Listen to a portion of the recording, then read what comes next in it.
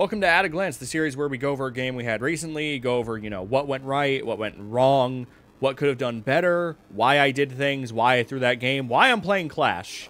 I feel I feel like the fact I'm Clash over here should already be a red flag for some people. I apologize for people who are going to click away already. I'm sorry to show you Clash while you were having a good day, but uh, this is a Clash video. That was that was in the thumbnail and probably the title. I, I don't know why you're surprised by the Clash. Anyway, this was a ranked game we had recently. I know. I, am still playing ranked during New Blood. Fucking, fucking insane. And this was match point. We were up one. We win this. We're done. No overtime. And Border is one of my favorite maps in, in the whole game. Also an insane take, I know. Because Border is one fucking 100% vertical. Either you play the vertical or you're going to have a really fucking bad day. Border playing very vertically is as weird as this is going to sound, it's the reason I played Clash. So I'm going to go ahead and immediately cut to me. And what you notice is that instead of, you know, anchoring like most Clashes do, I'm leaving. I'm leaving site. Which looks insane. Why would any rational Clash player leave site? But I have a plan here. I'm going to reinforce, I want to reinforce at least, the triple office wall. I used to, and by the time I get to this wall, my fucking, my cam is covering it. But we only have two reinforcements left, and I want to get the hatch before I get the walls. So I go for the hatch, and our warden has already used every single wall. So I am playing without walls, basically, or without hatch, basically. I put the shield here. That's a mistake on my part. I should have put it more, like, in the middle in the hall, but honestly, the way this game goes, it really, it really doesn't fucking matter. The reason I'm playing the Clash is because this map is so fucking vertical. And when you play vertically, you do have to allocate a lot of resources. You have to allocate resources towards, you know, not getting flanked over here, not getting flanked over here. You have to allocate resources to actually open hatches, which would have been nice if we had reinforcements to get the hatches, but you know how rando wardens are. So you have to allocate a lot of resources to vertical control, you know, get the hatches, get the walls, make sure you don't get flanked, etc. But you also have to allocate a shit ton of resources into getting a clash off the board. What most clashes will do is the clash will anchor on site and she's not really doing anything until the enemy hits site. And by the time the enemy hits site, hopefully they have a plan. And when they're executing that plan, part of that plan is we're going to deal with Clash X and X and X way. Or, you know, if you're Copper, Clash is busted and overpowered and you should banner every game. So, the combination of Vertical taking a lot of resources and having the Clash up here to make the Vertical a fucking nightmare pretty much means that Vertical play on Border is a fucking nightmare. I've been using Clash on Border a million fucking times, and she just works. People don't know what to do when they see the Clash upstairs denying you the hatch people actually don't know what to do. Like, depending on the team, this is like a free win. Especially if you have someone upstairs to help you to actually, like, go for your frags. I'm going to barricade the armory door just so I have one less place I need to look. So I'm going to try and focus around here. I don't know why I pinged the shield. This game was a few days ago. I ping the shield for some fucking reason. My attention wants to be on office because, you know, office is right above bathroom site. And I get the call that they're focusing on break room area like they're hitting vent workshop or not vent workshop what's the i can't even think of the name of the site no one fucking plays. It's like security storage some shit. No one ever plays that site. It's the site no one fucking plays. You know the one. So i come over here. I see sort of what they've done. They've gone break door and they're going through security. I try to keep my attention sort of on the door I see what's going on here, and I immediately start zapping. I see the buck, I see the zero. They're going to try to push through armory uh, through security. So I'm just going to be here and sort of pressure them. I am constantly pinging. Well, sort of constantly. I thought I was. Usually I ping on Clash. I want to let people know what I'm looking at. I'm constantly telling the team, hey, there's two guys in security. They might push armory. I am constantly telling the team what I am seeing I'm not trying to do the sick Clash 180 where I put my shield on my back and turn and gun them down.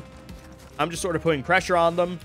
I pull my gun out because I saw them run and they're probably expecting me to still have my shield up. So I do take the gun out to catch them by surprise. They're not going to expect me to have my gun out.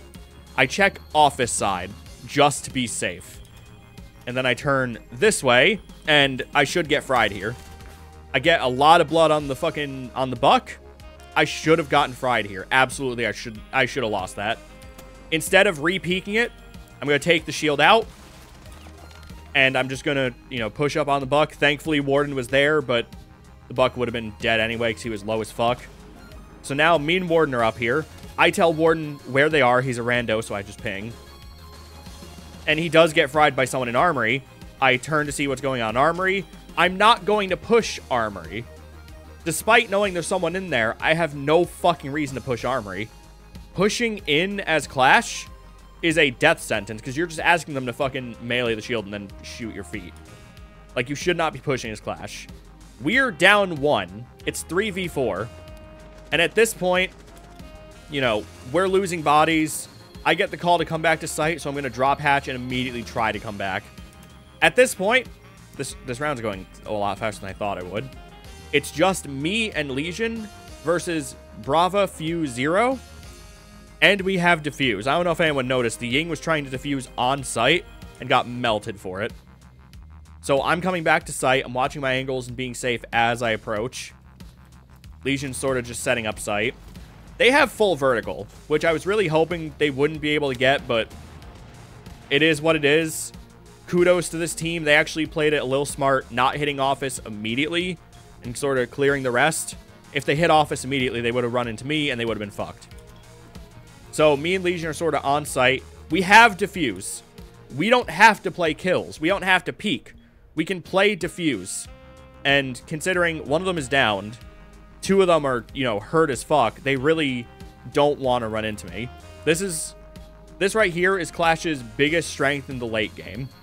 You can basically deal free damage on Clash in the late game when everyone's already low from all the duels they've taken over the course of the game. So I can just sit here, not knowing where to sit, because site's set up weird. And I just sort of have to keep an eye on Defuser and play safe. I have to play passive I don't need to take my gun out for any fucking reason.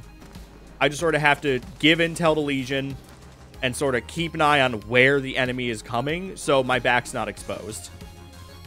Someone calls that they're going to try and hop the uh, hop the rotate between Bath and B site. Uh, there is no rotate at the time. They shotgun it out. They hop. I start zapping Brava, and I rotate around her because first of all, I don't want my back exposed. That's that's just asking. Like, let me go ahead and go to the overhead. If I were to stay in, like, around the couch between her and the doorway, someone would absolutely swing the doorway and just fry me. So I'm trying to get around her so my back is not, you know, exposed to the enemy while still zapping her. I don't know why she didn't melee me. Like, if she meleeed me, I would have been fucked. So she's dead. That's what I mean by Clash being strong in the late game because everyone's lit the fuck up from their duels. So, you know, that Zap is going to be lethal. And also Lesion's going to be lethal in the late game. He actually got the kill and I didn't even fucking notice. So now I'm going to sort of sit on Defuser. This right here, this shield swap thing, completely unintentional. I actually don't know what the fuck happened. My mouse has been glitching, so I think my mouse, like, phantom scrolled and went to the gun. So I should be dead here but I'm not somehow, by some fucking miracle. I start zapping Zero just to get him low. Pretty much one zap and he's gone. So he really doesn't even want to be around me anymore. So now it's just me, Fuse, Lesion, and Zero at one. Zero, if Zero peeks me, he's dead.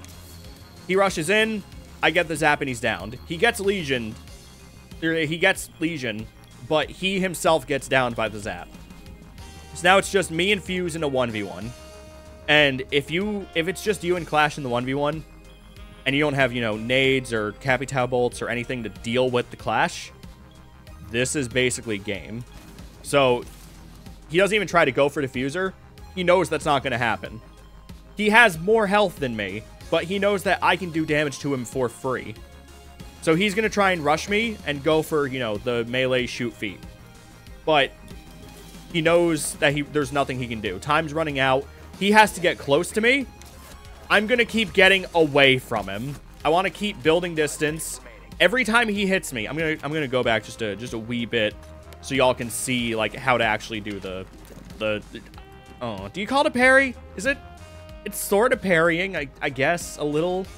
Anyway, when someone melees your shield as Clash, turn left, like 90 degrees left. Because then from their perspective, he does get some blood on me. Thank fuck he wasn't ADSing. If you turn left, the shield is still protecting you. They just have to, you know, sort of predict it. So I'm turning left as he's meleeing me so that he can't get the guaranteed kill. And I'm zapping him every chance I get to slow him down. I want to keep building that distance so he can't melee me. And time does run out. We win on time. What did I even end this game at? 3-3. I ended very modestly. Like, this was a... It was a mid game for me. I've been on a on a bad streak lately. So yeah, that was a brief... I wish it was more about the vertical clash, the anti-vertical clash, but you know, you, you get what you can. They didn't indulge me, the anti-vertical clash. And also, just clash in the late game in general is fucking powerful. This is why you need a plan to deal with the clash. Instead of just hoping you melee her. And, uh, yeah. Peace.